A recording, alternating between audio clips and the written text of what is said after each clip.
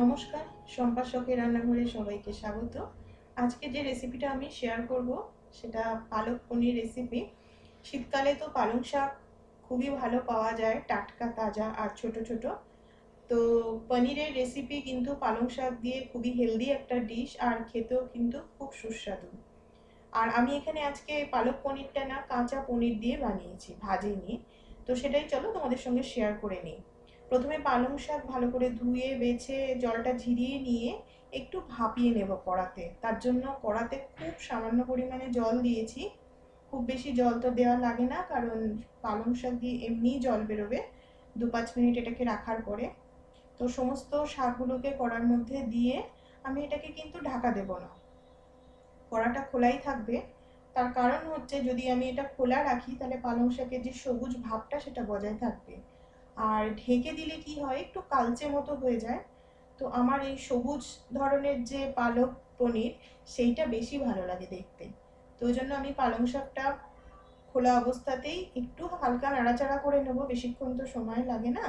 পাঁচ থেকে ছ মিনিট একটু এদিক ওদিক ঘোরানোর পরে দেখো অনেকটা কমে গেছে পালং শাক। তো হালকা একটু ভাপানোর পরে আমি এটাকে নামিয়ে জল ছিড়িয়ে নেব।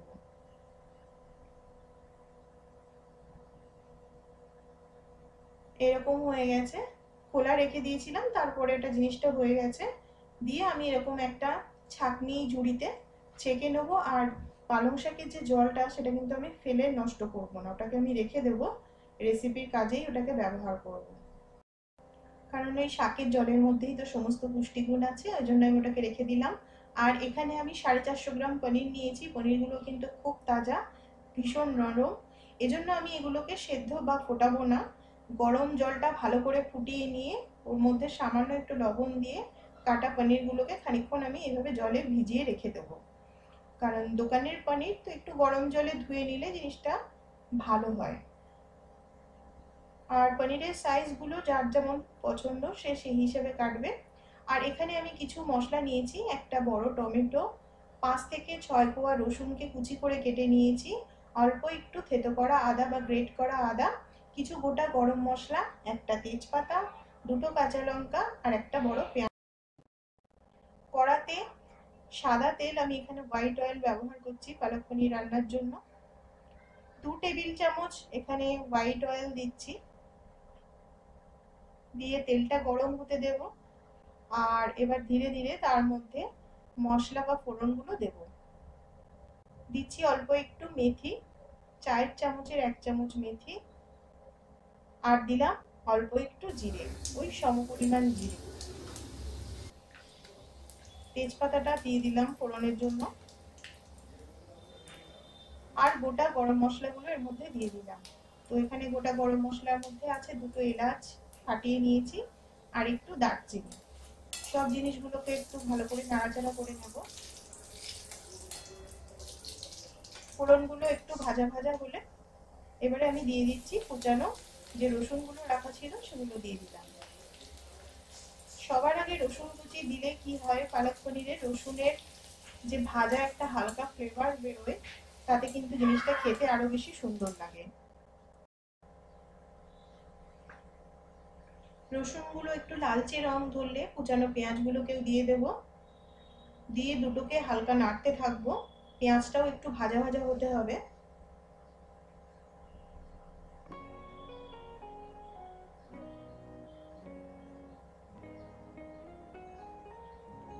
পরিমাণ মতো স্বাদের জন্য লবণ, ছোট চামচের এক চামচ হলুদ গুঁড়ো, সমস্ত জিনিসটাকে মিশিয়ে নাড়বো আর দিয়ে দিলাম টমেটোটাকে কুচি করে কেটে। মশলার মধ্যে দিয়ে দিলাম। যতক্ষণ না টমেটোটা গলে ততক্ষণ এটাকে নাড়তে থাকব। থেতো করা আদাটাও এবারে দিয়ে দিলাম। দিয়ে সমস্ত জিনিসটাকে নাড়তে থাকব, কিন্তু মশলাটা যাতে পুড়ে না যায়, সামান্য একটু জল দিয়ে নাড়লে মশলাটা অনেকক্ষণ ধরে নাড়াও যায় আর কষানোটা খুব ভালো হয়। দিয়ে দিচ্ছি ছোট চামচের এক চামচ ধনে গুঁড়ো। আর দিচ্ছি জিরে, কিন্তু এটা ভাজা জিরের গুঁড়ো। কাঁচা জিরের গুঁড়ো কিন্তু ব্যবহার করলে চলে। তবে আমি এখানে ভাজা জিরের গুঁড়ো দিলাম। স্বাদের জন্য দিলাম এক চামচ চিনি। পালক পনির কিন্তু একটু বাঙালিরা মিষ্টি মিষ্টি জিনিস খেতেই ভালোবাসে। আর পালক পনির রেসিপি আমরা বাঙালিরা যখন বানাই, একটু মিষ্টি মিষ্টি হলে বেশি ভালো লাগে। তবে চিনির স্বাদটা অবশ্যই নিজের পছন্দ মতো দিতে হবে। এবারে যে পালং শাকটা আমি জল ঝিরিয়ে রেখেছিলাম, সেটাকে মিক্সিতে পেস্ট করে নিয়ে মশলার মধ্যে দিয়ে দিলাম। বাটিটা ধুয়ে নিয়ে আরেকটু জল দিয়ে দিলাম। খুব বেশি পাতলা গ্রেভি হবে না।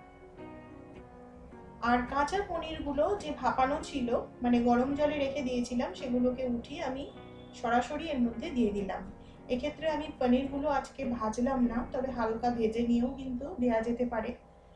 এখানে পনিরগুলো এত ফ্রেশ ছিল যে ভাজার আর কোনো দরকার ছিল না। কাঁচা পনিরের টেস্টটাও কিন্তু ভীষণ ভালো, আর এটা কিন্তু স্বাস্থ্যের জন্য ভীষণ ভালো কাঁচা পনির খাওয়া। সব শেষে দিয়ে দিলাম এক চামচ গরম মশলা। গ্যাসের ফ্লেমটাকে এই সময় মিডিয়াম টু লো রাখাই ভালো। তা না হলে জিনিসটা রান্না করা খুব মুশকিল হয়ে যায়। আর সব শেষে দিয়ে দিলাম এক চামচ বাটার। দিয়ে জিনিসটাকে ঢেকে রাখব খানিকক্ষণ। তারপরে ঠান্ডা হলে এটাকে সার্ভ করে নেব। দেখো, পালক পনির কিন্তু একদম তৈরি হয়ে গেছে। এটা যে কোনো ডিশ রুটি, লুচি, পরোটা, যার যেমন ইচ্ছা তার সঙ্গেই কিন্তু খাওয়া যেতে পারে। তো শীতকালের এই পালক পনির রেসিপি তোমাদের কেমন লাগল অবশ্যই কমেন্ট সেকশনে জানিও। আর যদি ভালো লেগে থাকে প্লিজ একটা লাইক করে দিও। আর এই ধরনের রেসিপি যারা এখনও বানাওনি, তাদের যদি রেসিপিটা ভালো লেগে থাকে, তো বাড়িতে ট্রাই করে দেখতে পারো। তাহলে চলো, তোমাদের সঙ্গে দেখা হচ্ছে আমার পরের ভিডিওতে আশা করব তোমরা ভালো থাকবে, সুস্থ থাকবে।